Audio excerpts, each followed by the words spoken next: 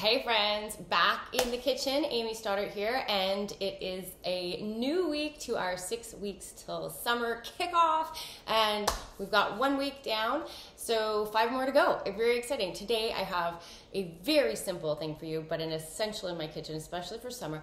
If you know me and have been following me for a little while, you know I'm all about systems in the kitchen and smart prep. So, one of my smart preps is always having a beautiful selection of vinaigrettes on hand because I do a lot of different things with them. They're fabulous.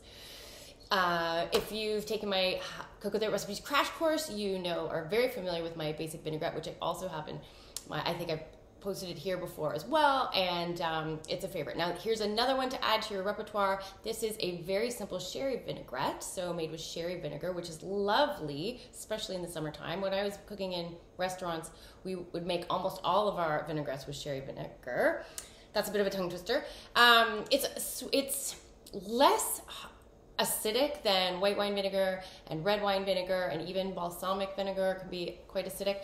It does have a little bit of the sweetness that you might find in balsamic vinegar, so it's really beautiful and goes with pretty much everything. So, great staple to have in the house. Ooh, and I have a few little tricks for you today. Okay, so first things first, I like to start with one small shallot completely chopped up and then what you're gonna do is you're going to add two tablespoons of your sherry vinegar. And you're gonna add two tablespoons of lemon juice, just like that. Now, this I would let sit for five minutes, 10 minutes. It really mellows those shallots out and they just become so beautiful. Like it takes that sharpness away from the onion flavor and you're just left with that beautiful flavor of the shallot. Um, I'm just gonna go right in and skip that because we don't wanna wait around for five minutes here, but definitely do that. Just throw them, set them aside, do something else in your kitchen, come back to it. Then you can add a little bit, about a teaspoon of Dijon, okay? Teaspoon of Dijon mustard. We're just gonna add a few emulsifiers now. So what is an emulsifier? Uh, an emulsifier is gonna help the vinegars, your acids, and your oils become unified. So and then now I'm gonna, honey is another emulsifier. You could do one or the other or both. I'm just adding a teaspoon of honey. It's gonna add a little bit of sweetness, balance out the acids. It's always about balance. And now here's the trick. So if you're familiar with my basic vinaigrette, you know that I love it because it just has three, I think, simple ingredients in it that can all be on the counter after it's made so that you always have a homemade dressing on the ready. Now, there is a trick when you're adding other ingredients because we are, like we said, we added the Dijon, we're gonna add a little bit of garlic so then it's no longer safe to keep on the counter because of bacteria, so you wanna keep it in the fridge. But I'm gonna show you a little trick after we add our garlic. So with a rasp, I love pureeing my garlic with my microplane here. I'm just gonna add about a quarter teaspoon of garlic, maybe even an eighth. We don't want it very garlicky. I'm just gonna do, hold on, an eighth of a teaspoon, okay? So just a tiny little bit just like that. Remember, we can always add more later and taste it, but we can't take it out. okay, so back to over. So I'm just gonna give this a little bit of a whisk. And you could even let those, you know, you could even have all of that in before you let it sit. It'll still mellow your beautiful shallots. And now you wanna go half and half if you're gonna keep this in the fridge but all, well, you have to keep it in the fridge. But if you want to have it ready instantly to add to salads, which is essential for me, I don't want to wait around for a solidified dressing in the fridge to uh, t- to come to t- be able to drizzle it on. I didn't get that right, but anyways, you know what I'm saying. So do half and half with a nice extra virgin olive oil and a grapeseed oil. You could even go a little bit more with the grapeseed oil. So the more grapeseed oil or a vegetable oil of your choice. I like to use grapeseed oil, but one that doesn't congeal or doesn't solidify in the fridge. Your olive oils will all solidify in the fridge if they're good quality, and that's what we're trying to avoid. But we do want to have the olive oil in our dressing. So we're just going to trick it a little bit, a little bit of science there for you. So I'm just going to slowly whisk in my blend of oils.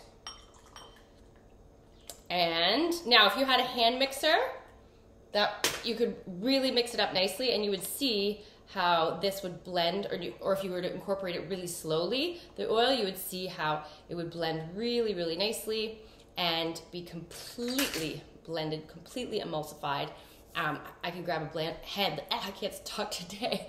I could grab a hand blender and show you what that looks like. So for this, gotta get my apron on. But this, the reason why I love to have this kind of salad dressing on hand is really because of its versatility just and just that extra flavor layer with the shallots and the garlic it just goes on so many different things the sherry vinegar makes it work nicely in dressings where you'd want just a hint of that sort of balsamic flavor, but not overpoweringly. And it, it can go so many different ways. I'm going to show you some really lovely ways to use it this week. But for now, let's zing this with our blender.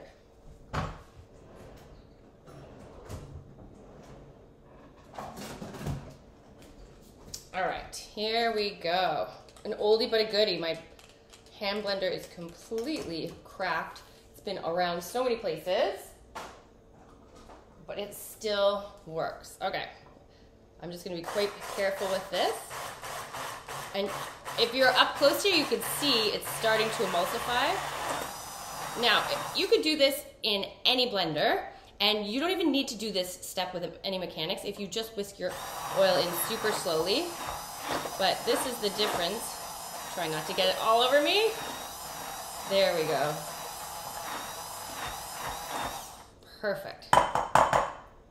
Okay. Lovely. Whoops. Lights on, lights off. Clap on, clap off. okay, that is it.